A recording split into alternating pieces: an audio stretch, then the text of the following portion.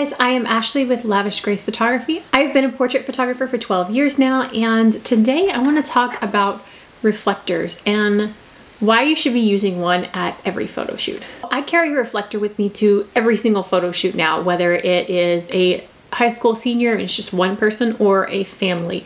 I always have it with me so I can pop it out and use it whenever I need to.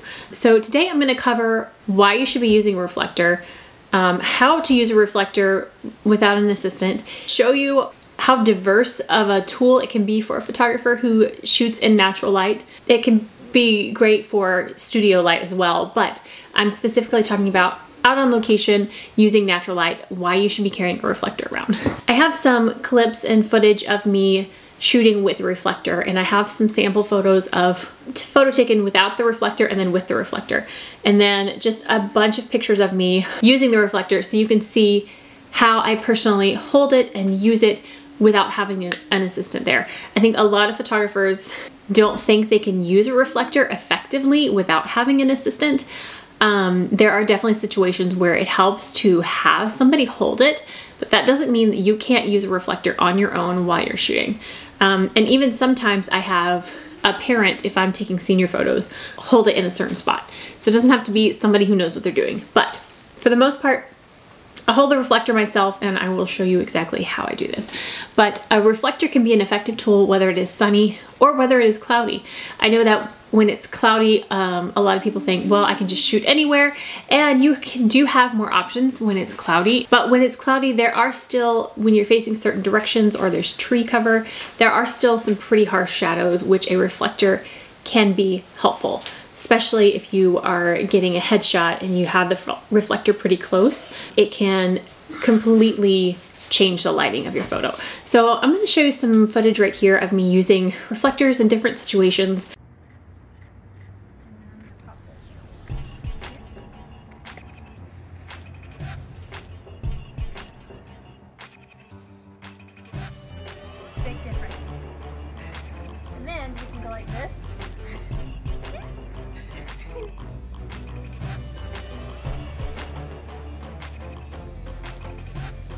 You're blinking like this.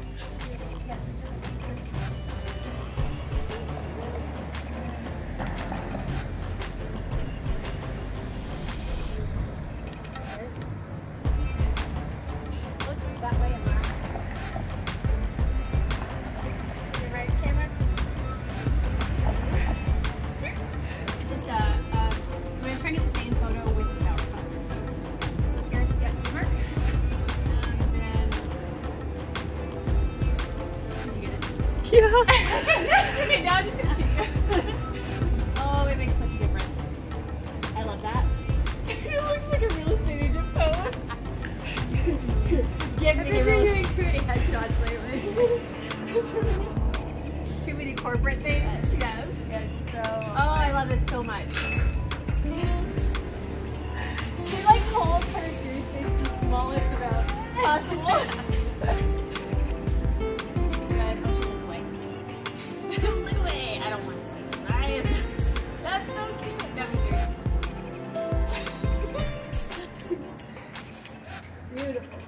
Obviously when it's sunny is a beautiful time to use a reflector because so much light can bounce off of it. It can almost be too bright even, especially if you use the silver side.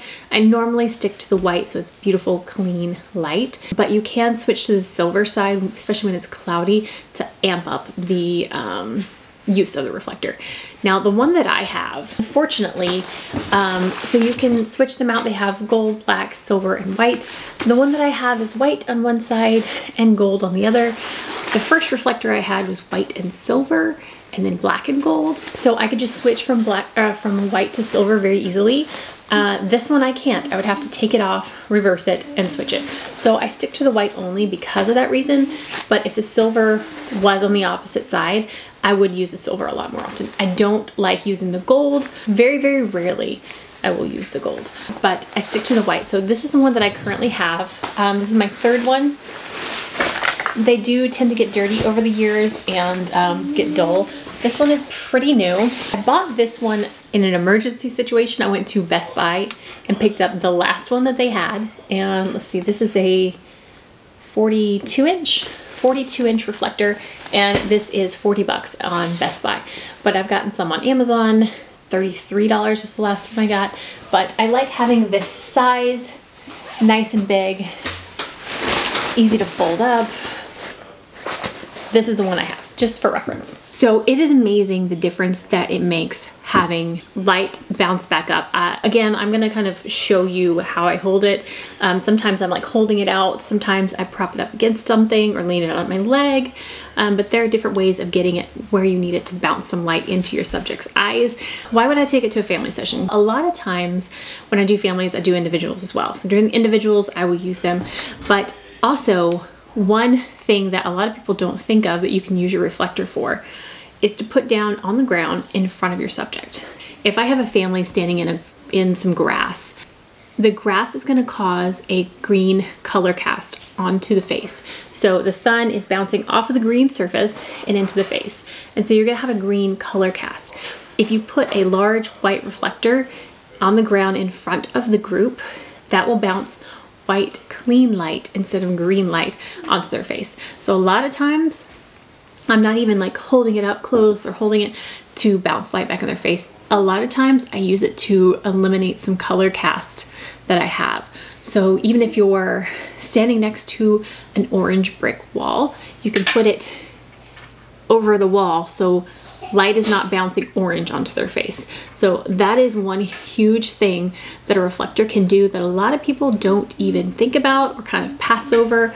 So even if you aren't holding it to get light into your client's face, it has other uses. So use your reflector in multiple ways. So using a reflector also allows me to shoot in spots that I wouldn't normally shoot in.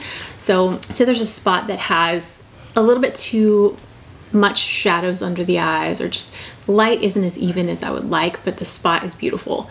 Pop out my reflector, hold it out, and I can use that spot. So I'm not, not limited to my locations that I put my clients because I have my reflector with me. And again, it doesn't help to have your reflector in your car.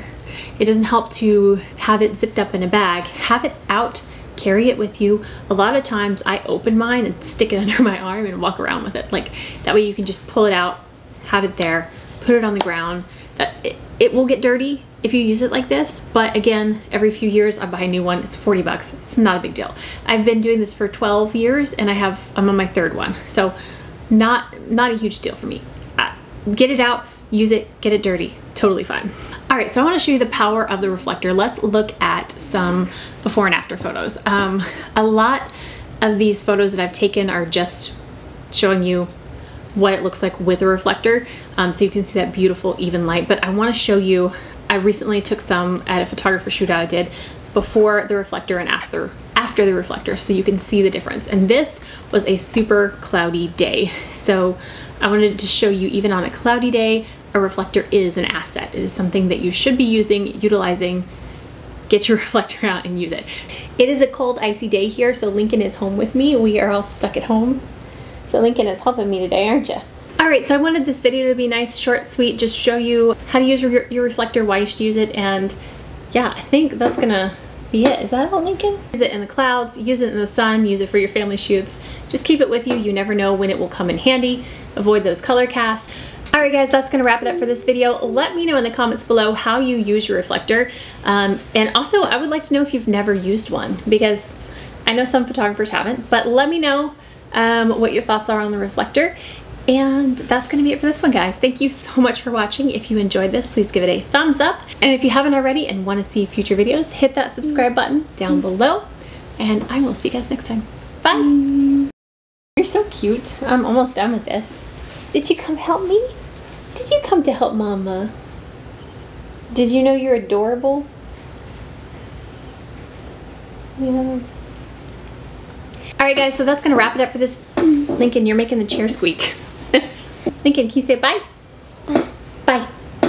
Bye bye. You.